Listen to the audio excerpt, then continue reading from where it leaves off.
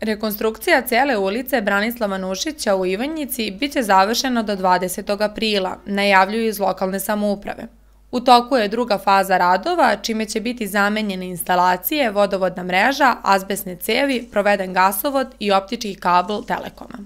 Vrednost investicije iznosi 22 miliona dinara i finansira se iz budžeta opštine Ivanjica. Ulaganjem u infrastrukturu stvaraju se uslovi za konforniji i bolje život meštana.